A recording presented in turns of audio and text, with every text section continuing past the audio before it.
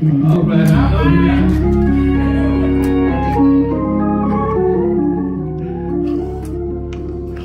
to the Mount Sinai Missionary Baptist Church of Memphis Incorporated YouTube channel. Thank you so much for joining us. Let us begin today with prayer. Our Heavenly Father, we pray that you would keep us living in the positions you've placed us. We pray that you would lead us uh, to the place in life that you've planned for us and use us daily to fulfill your will for your glory. In Jesus' wonderful name we pray.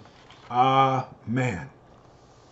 Uh, our text for today again is found in 1 John chapter 5 verse 4 and 5. English Standard Version is what I'm reading. 1 John chapter 5 verse 4 through 5. For everyone who has been born of God overcomes the world. And this is the victory that has overcome the world, our faith. Who is it that overcomes the world except the one who believes that Jesus is the Son of God? Now, last week, hopefully you remember, uh, we left off dealing with our position in Christ. Uh, and uh, we read uh, Ephesians chapter 2, verse 4 to, through 6, but today I'm only reading verse 6 for a reminder. It says, And raised us up together and made us sit together in the heavenly places in Christ Jesus. Last week we mentioned that when Christ returns, we shall share in his exaltation. Colossians chapter 3, verse 4 says, When Christ, who is uh, your life, appears, then you also will appear with him in glory.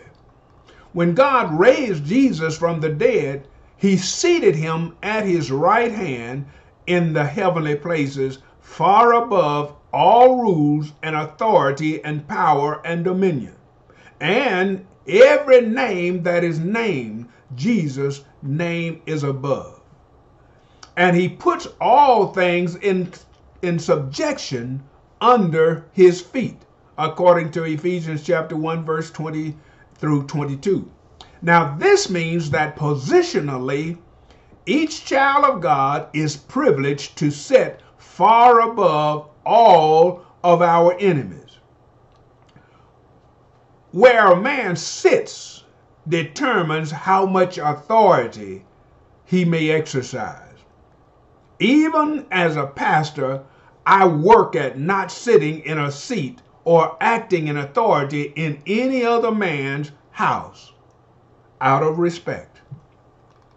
The man who sits in the general manager's chair has restricted authority, and the man who sits in the vice president's chair exercises more authority or control. But the man behind the desk marked president exercises the most authority. No matter where he may be in the factory or office, he is respected and obeyed because of where he sits. His power is determined by his position, not by his personal appearance or the way he feels. So, with a child of God, our authority is determined by our position in Christ. Let me say that again. Somebody more than me needs to hear that statement and apply it in our Christian walk. With a child of God, our authority is determined by our position in Christ. Romans chapter 8, verse 17 says, And if children, then heirs heirs of God and joint heirs with Christ. And if so be that we suffer with him, that we may be also glorified with him. Got to be willing to suffer with him to be glorified with him. Now, when we trust Jesus, we are identified with him by the Holy Spirit and made a member of his body. 1 Corinthians chapter 12, verse 12 and 13 uh, says, For as the body is one and hath many members, and all the members of that one body being made uh, are one body, so also is Christ. Verse 13 says, For by one Spirit we are all baptized into one body, whether we be Jews or Gentiles, whether we be bond or free, and have been all made to drink into one Spirit.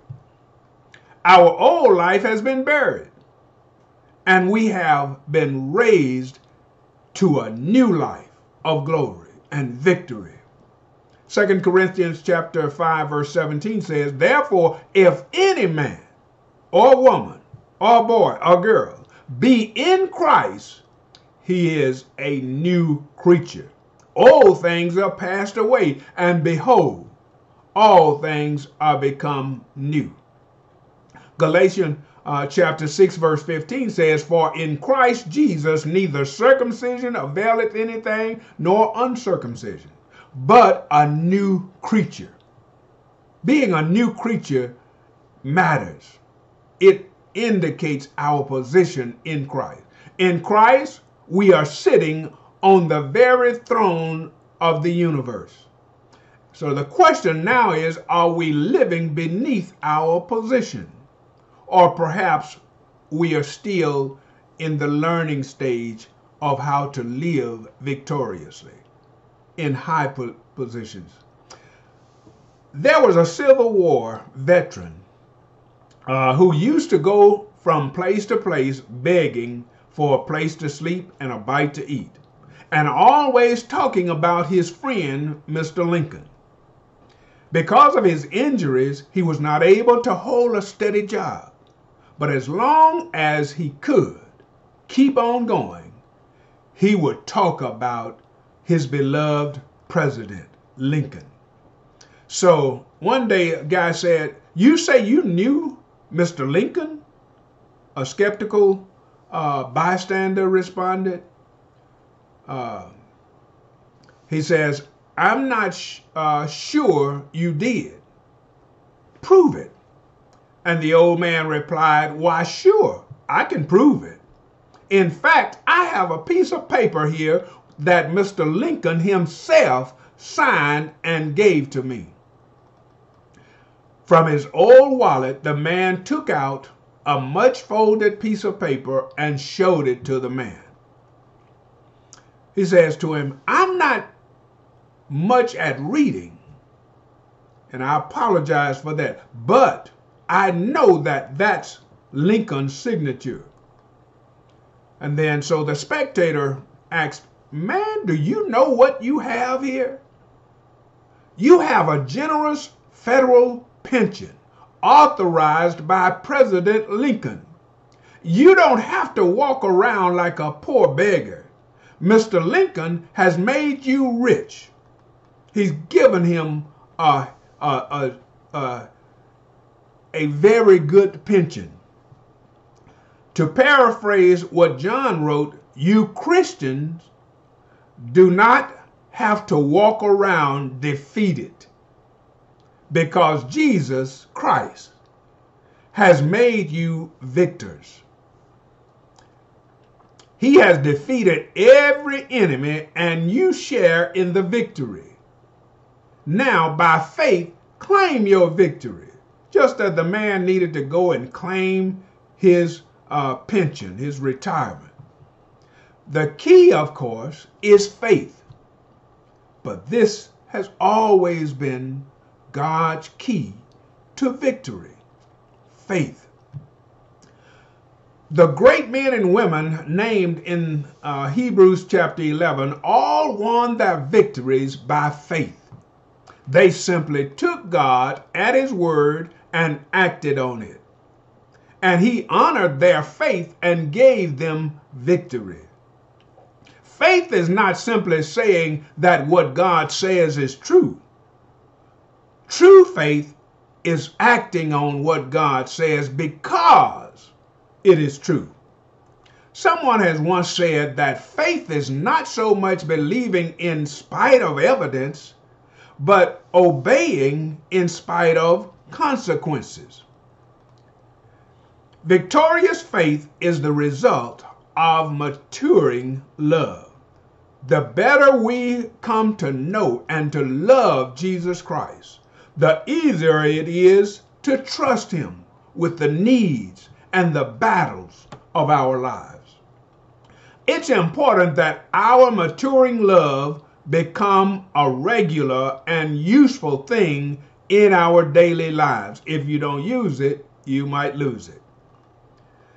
How does a believer go about experiencing this kind of love and the blessings that flow from it? To begin with, this kind of love is cultivated. It's not the result of a hit or miss friendship. A previous study pointed out that a, a believer slips back into the world by stages. First stage is friendship with the world, according to James chapter 4, verse 4. Second one is spotted by the world, according to James chapter 1, verse 27. And then loving the world, as uh, we're taught in First John chapter 2 verse 15 through 17. And number 4, conformed to the world, based upon the statement Paul makes in Romans chapter 12 verse 2. Our relationship to Jesus Christ is a similar way uh, grows by stages. We must cultivate friendship with Christ. Abraham, for instance, was a friend of God, according to James chapter 2, verse 23, because he separated himself from the world and did what God told him. In order to exercise faith and cultivate our love for God, we must put our faith into actions.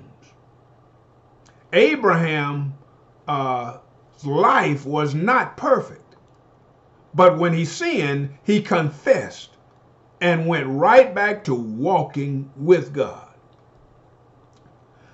This friendship that Abraham had with God will and, and, and works through us also will begin to influence our lives. As we read the word and pray, and as we fellowship with God's people, Christian grace will start to show up in us. Our thoughts will be cleaner. Our conversations more meaningful.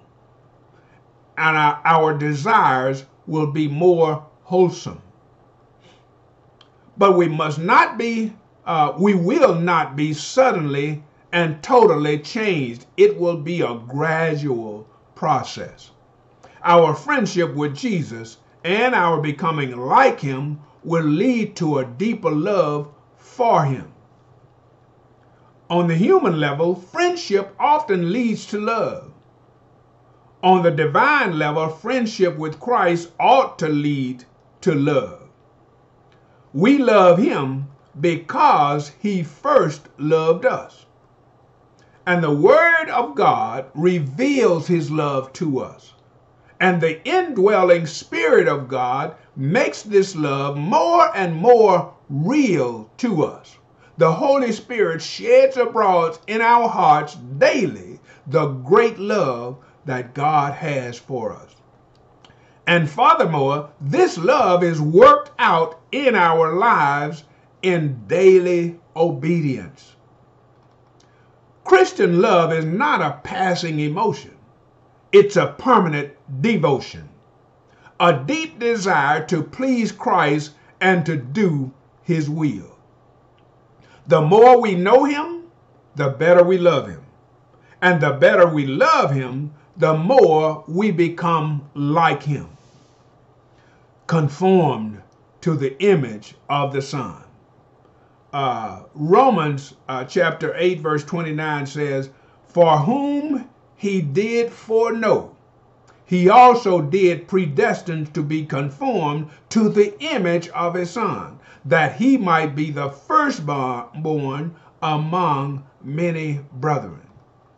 Now, of course, we will not be completely changed to the uh, uh, way God wants us to be until Jesus returns and we see him as he is. But we are to begin the process right now. What an exciting way to live. As God's love is perfected in us, we have confidence towards him and do not live in fear because we because fear is cast out and we can be honest and open there is no need to pretend in us and because fear is gone our obedience to his command is born out of love and not fear or terror we discover that his commandments are not burdensome. And finally, living in this atmosphere of love, honesty, and joyful obedience, we are able to face the world with victorious faith and to overcome instead of being overcome. The place to begin is not in some daring, dramatic experience. The place to begin is in the quiet, personal place of prayer. Peter wanted to give his life for Jesus, but when he was asked to pray, Peter went to sleep. A believer who begins the day reading the Word of God and meditating on it and worshiping Christ in prayer and praise will experience this perfecting love.